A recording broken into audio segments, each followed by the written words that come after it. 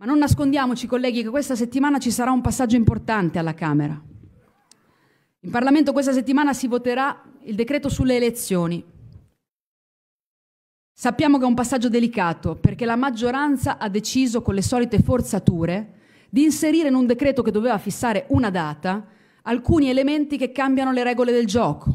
cosa che già non si dovrebbe fare con un decreto, ma con una discussione piena parlamentare coinvolgendo le altre forze politiche pure all'opposizione